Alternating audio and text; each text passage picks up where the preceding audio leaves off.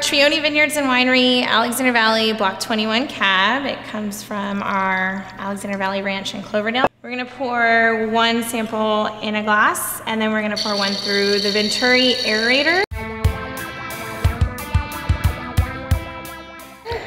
The Vinturi aerator is like a mini decanter. It decants the wine instantly, brings out all the aromas, just like a decanter would, but in seconds versus a couple of hours.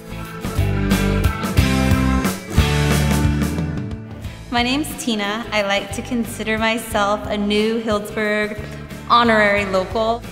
Hi, I'm Deb Kravitz, and I recently moved to Healdsburg, California, where I spend um, probably an inordinate amount of time tasting wine. I enjoy wine, but I'm definitely a newbie to wine. Uh, I like to tweet about wine and the different wineries that I visit in Sonoma County. So I'm here to try the same wine, um, and one time it is poured through the Vinturi, and let's see how I do. And I understand that one glass has been poured through a Vinturi, and the other glass is straight out of the bottle.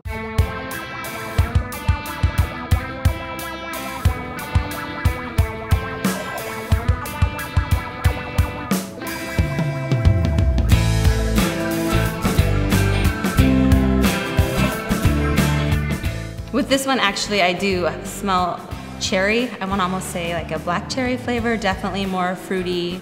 I'm getting a little bit of violets, maybe some floral tones in that one.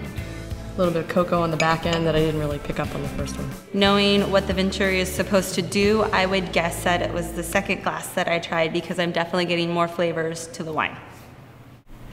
On the palate, I think this one is just a little bit um, more going on. It feels a little bit more uh, rounded, uh, fuller. Thanks. Did I get them right? Done?